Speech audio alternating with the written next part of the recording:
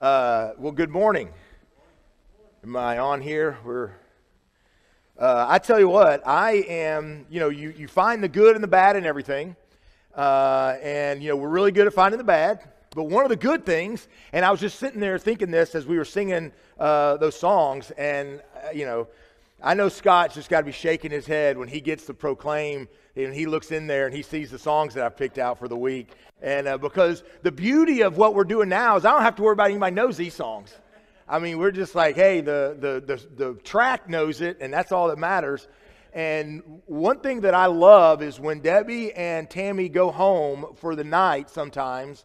Not that I love it when they go home, but when they're when I'm the only one in here and I can come in this room and I can turn that on, and I've got the little clicker, and I'm advancing slides, and I'm doing my best Scott interpretation impression up here, and just rocking and rolling. I thought to myself, you know what? I'd invite you guys in for that. We ought to have some practice time uh, in here, you know, just learning the songs and singing together, and, you know, we can be all distanced and all that. I might have them send out an email and say, okay, Shane's going to be practicing and acting a fool at this time. So come on in and we can all just uh, join. And, and because it is, let me just tell you, I have it way louder than that in here, and it sounds awesome. And uh, it, it is it is a lot of fun to just sing and praise. And we I joke about it, but I will tell you this: it is some of the most profound worship that I experience in here by myself,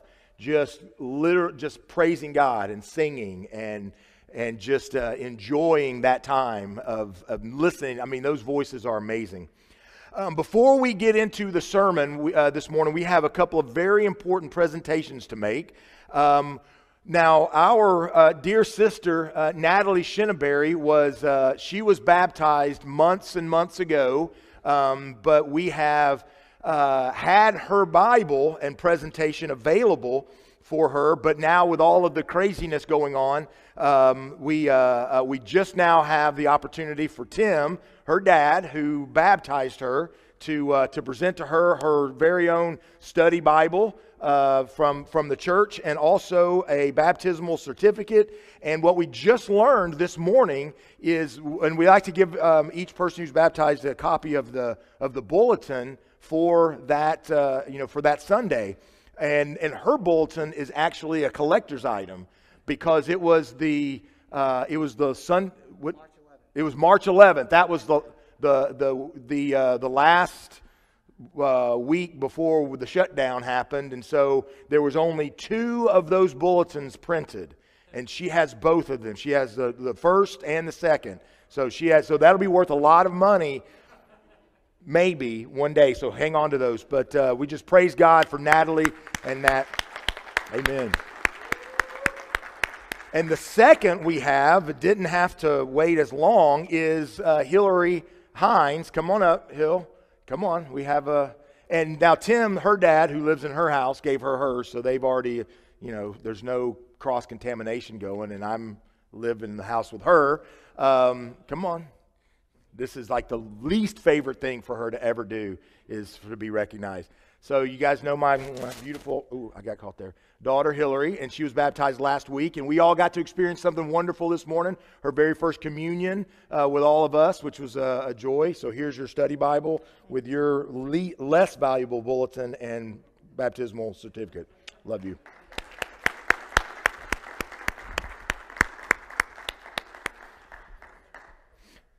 Uh, so, all right. So if you've got your Bibles, let's turn over to uh, 1 Peter uh, chapter 1. We're going to be looking at that briefly for a second as we ask the question who's in charge here? And this is a, uh, this is a question that we ask because this is what caused all of the issues way back in the garden is asking who's in charge here and so what happens is, is that we, we uh, endure, because of that question, the mystery of suffering. And we find out about that in First Peter, uh, in 1 Peter chapter. Go ahead and fill up, yeah, there we go. Fill up that whole slide there. Uh, and in First Peter uh, chapter 1, verse 3, uh, we read what we read last week. And I just kind of want to reiterate this for just a second. Uh, it says, Praise be to the God and Father of our Lord Jesus Christ. In his great mercy, he has given us new birth into a living hope through the resurrection of Jesus Christ from the dead into an inheritance that can never perish, spoil, or fade. Think about that for a second, church. That what we are waiting on from God is, of, is in no danger of going bad, of being revoked or, or of, of, uh, of somehow losing its power. He says it'll never perish, spoil, or fade. It's kept in heaven for you.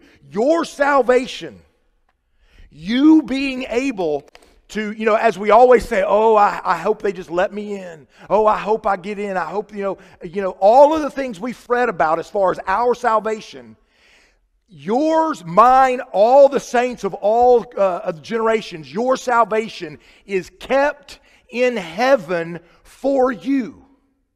Think about that for just a second. What can you do to mess that up? On its own, it can never uh, perish, spoil, or fade.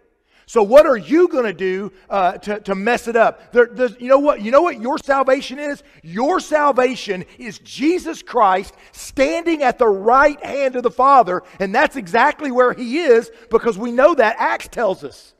Acts tell the Bible says our Lord and Savior, our advocate, our uh, you know our salvation is standing at the right hand of God now, right now, this minute. And, and, that's what justification means when he says that those who are in Christ, those who are baptized, just what Natalie did months ago, what sweet Hillary did last week, uh, when she answered that call and said, I want to be in Christ, guess what? Those two young ladies, right now and forevermore, standing at the right hand of the Father. Amen. Because if you are in Christ, if you are baptized, you are in Christ, new creation, the old is gone, the new has come. That's Bible, folks. Stop worrying. Your salvation is kept in heaven for you. And he says, uh, God's power, the coming of the salvation that's all that, that is ready to be revealed in the last time. In this you greatly rejoice. Do you greatly rejoice in your salvation? I don't know what it is, Scott. We just must be getting fired up up here because I'm getting out of breath too, and I don't even have my mask on yet. Do you, do you greatly rejoice or do you fret over your salvation? I, I mean, just, just, let's just think about this because what we're going to get into here in a minute it depends on whether or not we're rejoicing in our salvation or we're fretting over it. Whether we are bold, uh, saved, uh, Christ followers, or are we timid, scared, afraid to, to, do, to do anything? He said, Look, you, you know, the salvation, or, you know, rejoice. You greatly rejoice. Though now, this is what we're going to get into. Uh, you greatly rejoice because you are saved.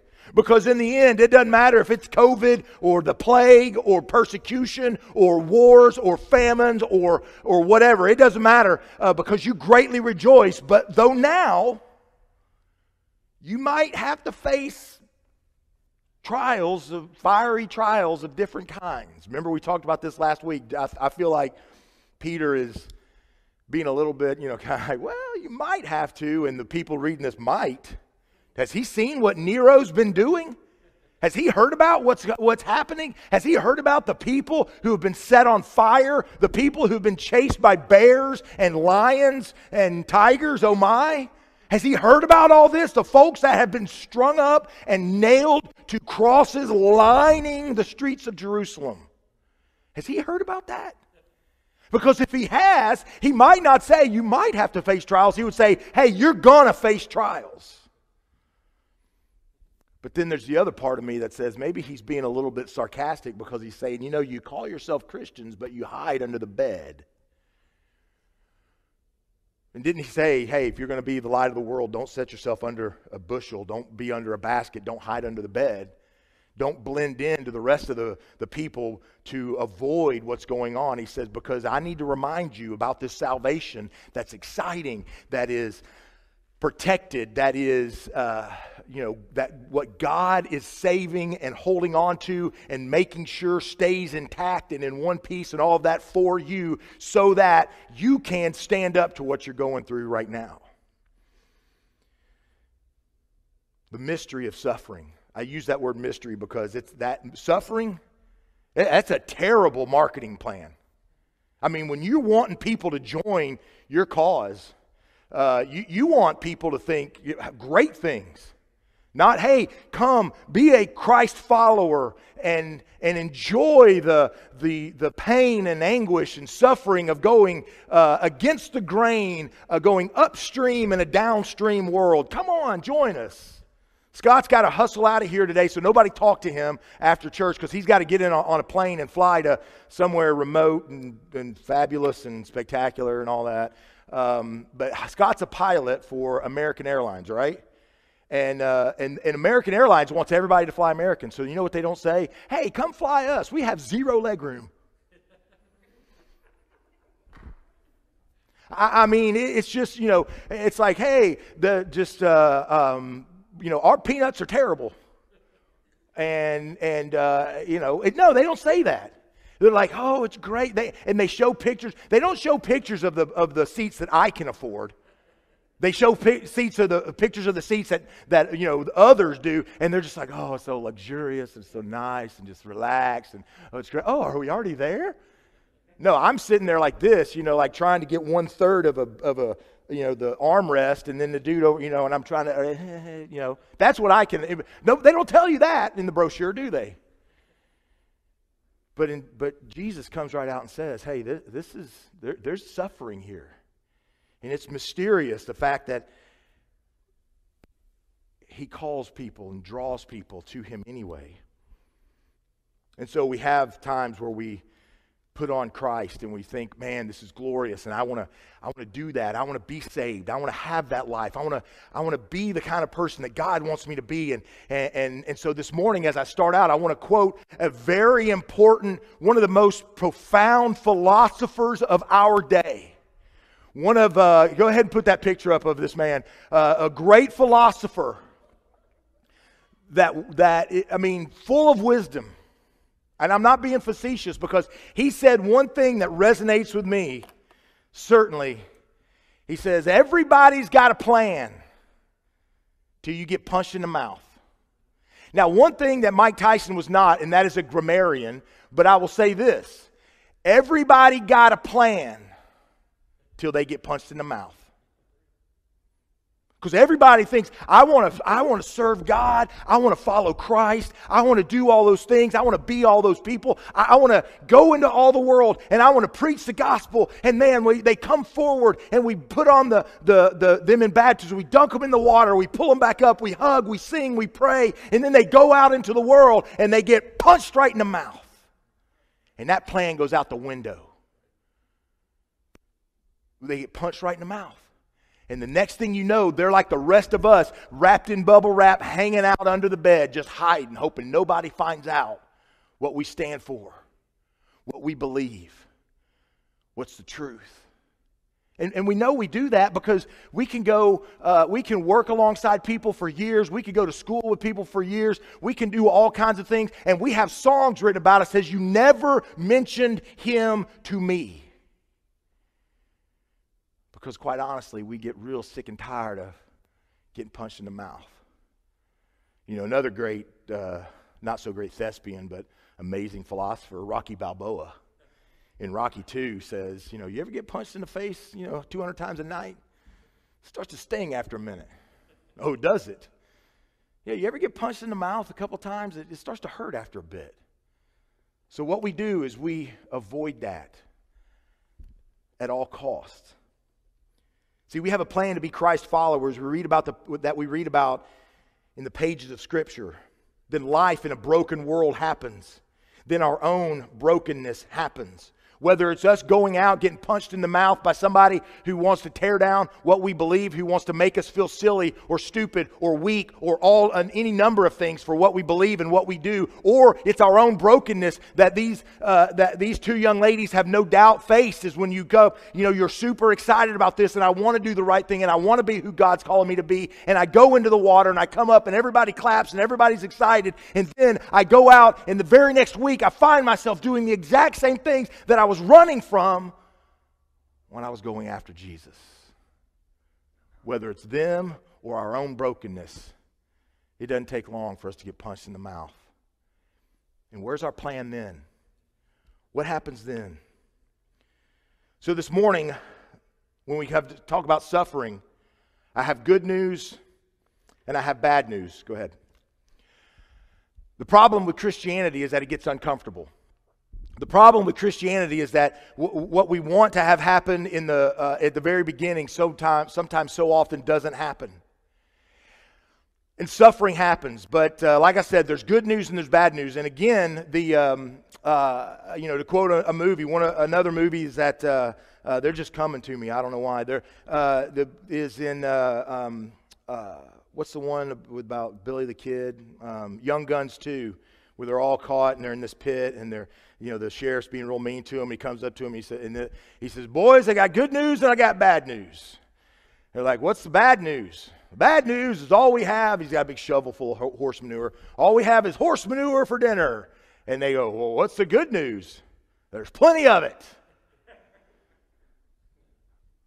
Well, there's good news when it comes to suffering, there's good news and there's bad news. The good news is that God can use our suffering to His glory. That's the good news. No matter what we go through, no matter if it's persecution or, or hatred, whether it's oppression or, or, or anything else, God can use our suffering to His glory. The bad news is there's plenty of it. There's plenty of suffering to be used. In the kingdom, that is. In the kingdom. So we find out that there's basically uh, there's two types of suffering that we're going to experience. The first type is the one that, uh, uh, that, that so often we don't experience. The first type of suffering that we experience in this, in this plenty, uh, this uh, plentiful cornucopia of suffering that is uh, life in the kingdom here on a broken earth is suffering for righteousness' sake. When we suffer for righteousness' uh, sake, this is when our holiness finds itself in conflict with the brokenness of this world. This is when our new creation, our new character. Remember last week when I said that, that suffering doesn't build character, it reveals character? And, and again, you know, those aren't absolutes. There are times when, you know, your character can be uplifted and, and be amended and things like that during hard times. But for the most part, suffering just reveals who, who we are. It reveals what's already there. And, and if we can't take it, that's because we are not new creations. We're not recreated in God's image. We are not recreated by God through His Holy Spirit. And so He gives us this new character. He gives us this, uh, this newness, this holiness. And what happens is we leave the waters of baptism and we go out into this broken, lost, and dying world and we shine light into the darkness and the darkness repels and then it flanks us and then it attacks. See, suffering for righteousness' sake is we come face to face with the ruler of the air, as Jesus calls him, Satan, the roaring lion, seeking whom he may devour. It's either him himself, his evil forces, or people who are wittingly or unwittingly actively working against the kingdom. You see, Matthew chapter 5 and verse 10 and, and following, Jesus in his Sermon on the Mount, uh, you know, in his declaration of of what the kingdom looks like and what kingdom character looks like when he goes through all of those blessed are these and blessed are those and, and blessed you're you're blessed when you're a peacemaker. You're blessed when you're this. You know he goes through this this preamble of the constitution of the uh, uh, of the kingdom of god. And he says at the very end of that he makes no bones about it. He said blessed are you when you are persecuted for my name's sake because yours is the kingdom of heaven Jesus states at the very beginning that being persecuted, suffering for the cause, suffering for the way, it is not optional in the kingdom. He makes that very clear. Because he says at the very beginning, Blessed are the poor in spirit, for theirs is the kingdom of heaven. And then he says at the very end, Blessed are those who are persecuted, for theirs is the kingdom of heaven. He makes he says, Look, there's two pillars of, of being kingdom citizens. One of them is understanding your spiritual bankruptcy. There's nothing on earth that Rich Dooley can do to save himself. It is 100% God's work. That's what poor in spirit means. Spiritually bankrupt.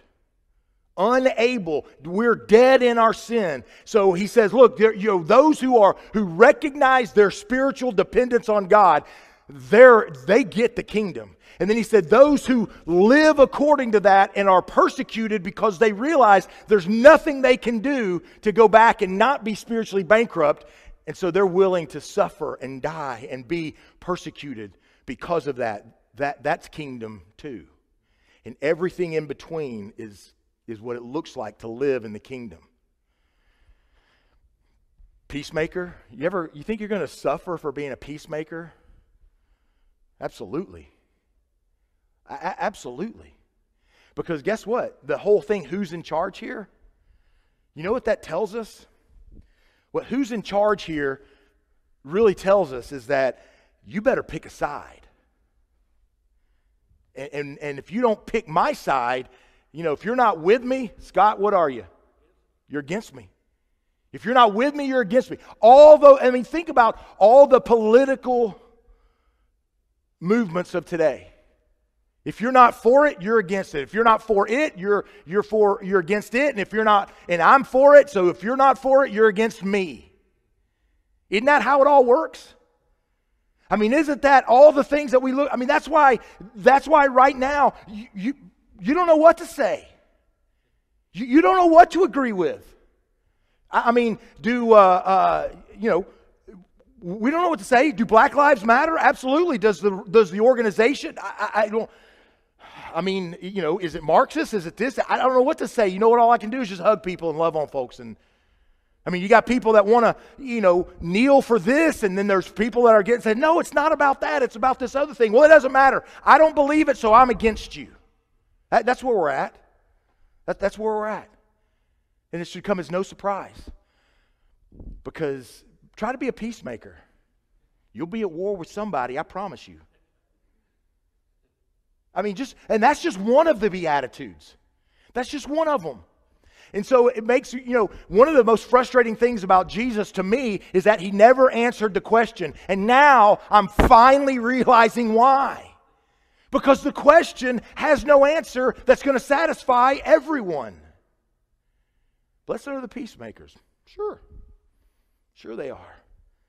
Read down to the rest of the chapter. They're going to get persecuted. They're going to get persecuted. So, that, that, so there's, this, there's this suffering for the sake of righteousness that is uh, uh, that's one that we typically avoid, but there's one that we don't avoid. There's one other type of suffering that we don't avoid, and that is suffering that I like to call self inflicted wounds. Those are the, the suffering that is due to our own sinfulness. These are self inflicted wounds. This is, there, there's a little known fact that we only find out after the fact.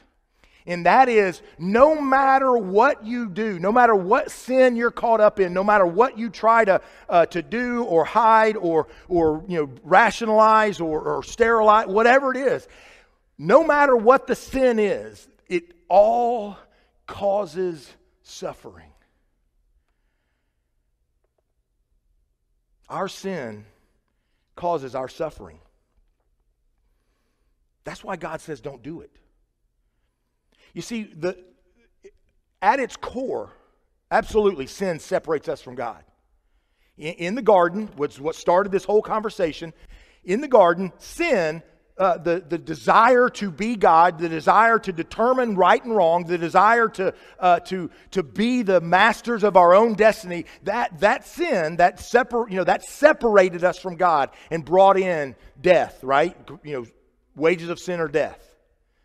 So at its core, sin separates us from God. So then God has this plan from, from all along, even before we sin, He had this plan that, that He puts into motion where He brings us back to Him. And, He brings us back to Him through uh, His own mercy, His own justice, His own grace. And so, and, and that's the one thing that we can't change, fix, or, or, or mess up. is God's grace. We can only accept it or again go our own way and we determine what's righteous and we make our own righteousness. Or if we surrender to his righteousness. So, so sin at its core separates us from God. But once we're reunited with God, sin had no longer has that power over us. Read you know I, am almost out of time. I don't have read romans 6 7 and 8 sin has no more mastery has no more power over us. Oh we still do it but it no longer separates us from god. It causes suffering though. So god says don't do it. I mean, that's, that's why we don't sin. That's why we, we, we flee from sin because it, it causes suffering.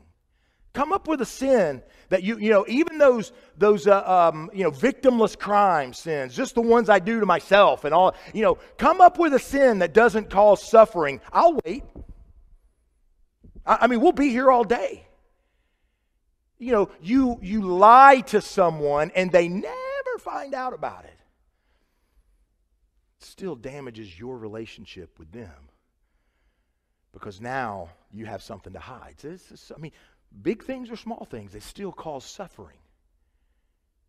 That, that's the reason that God doesn't want us to sin, because it hurts us. Don't commit adultery. Well, okay. What if I did, but oh, but she never found out? Or well, it's not just beat up on the eyes. What if he never found out?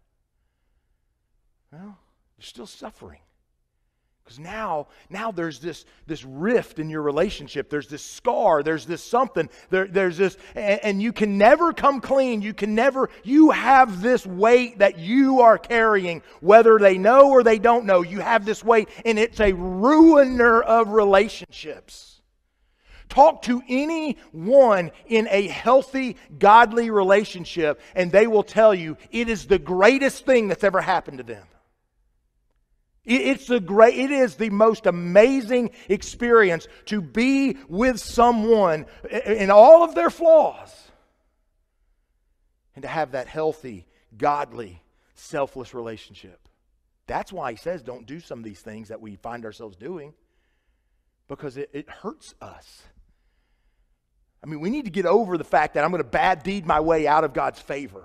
I didn't good deed my way into God's favor. I'm not going to bad deed my way out of it. He's just saying that whenever you sin, it causes suffering. And if you suffer enough, you might leave Him thinking the grass might be greener somewhere else.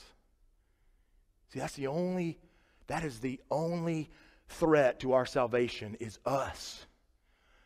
Just like we made a decision to follow Him, us making a decision not to.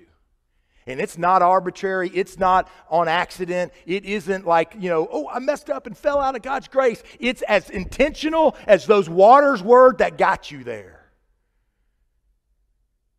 But we suffer enough at our own hands, no telling what we're liable to do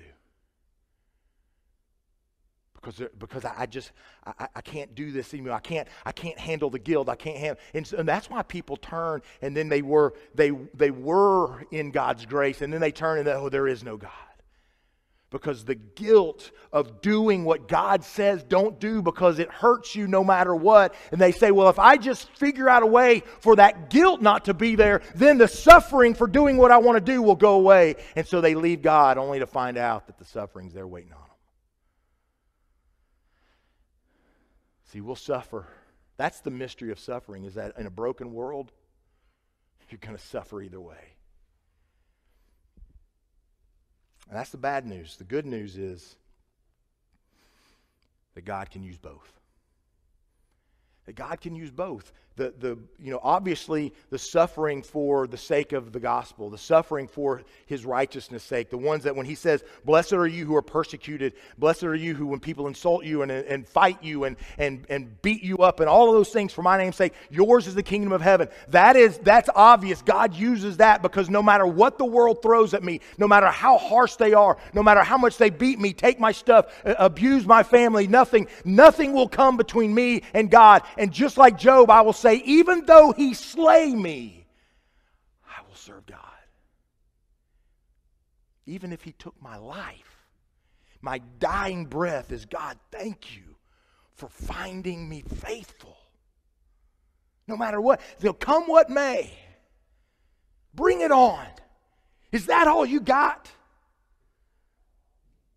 God can use that kind of suffering, that kind of persecution for His glory because people say, Look at what's going on with that guy. If, it, if God was not real, if the Holy Spirit was, was not in him, strengthening him, empowering him or her, there is no way they could stand up to that. God's got to be real.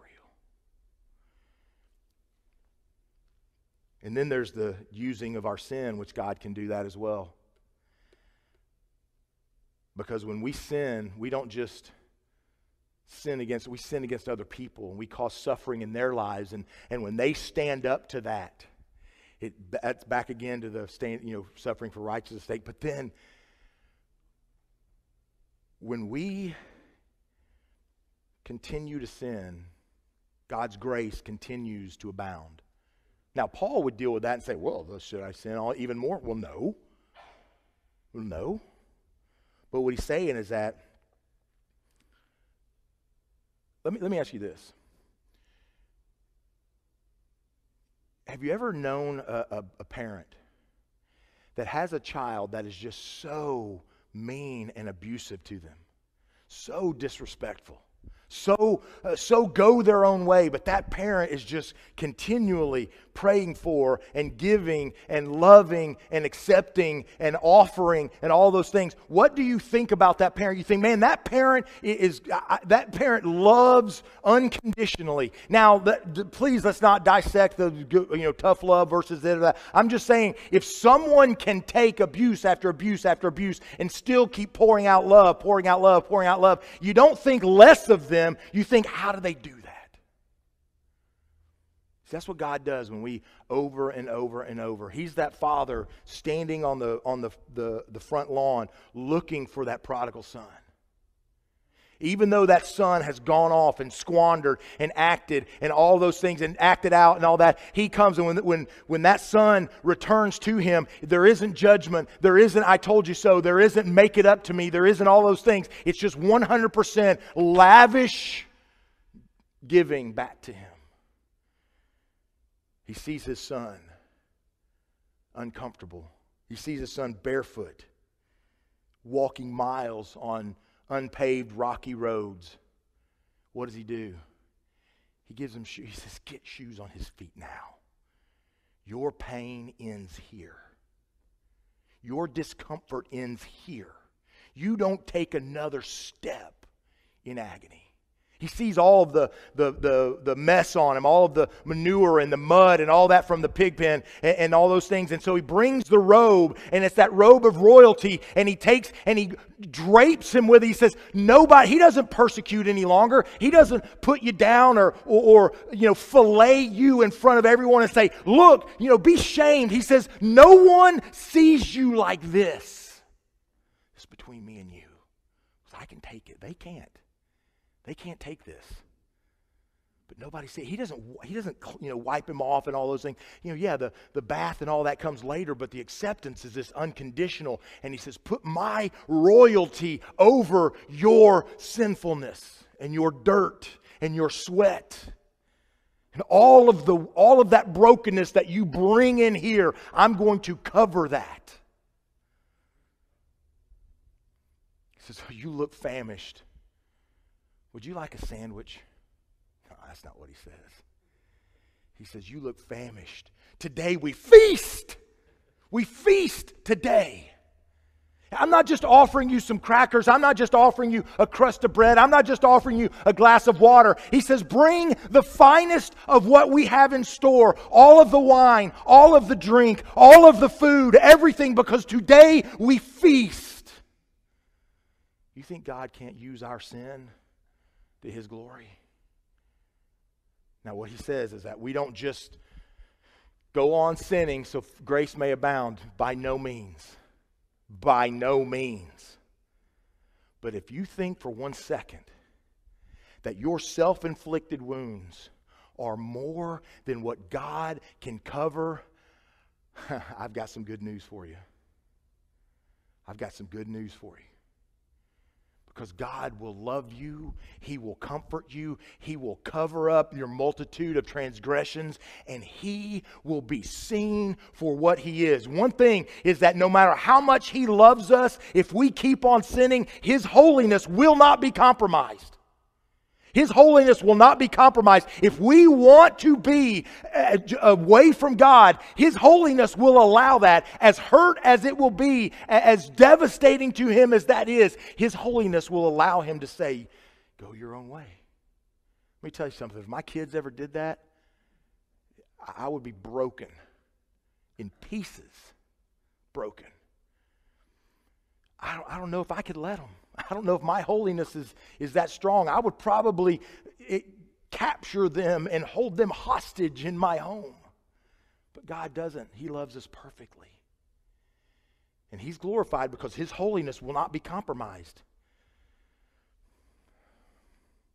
But in that same breath, an uncompromising holiness accepts the broken back to His glory. There's good news and there's bad news. For those in Christ, however, praise God, we're only left with good news. Scott's going to come up and he's going to lead us in a song. Then we're going to have a prayer and then we're going to be dismissed. This week, you have an opportunity to face suffering. Will it be at your own hand or will it be for his righteousness? Will you join me as together we stand and sing?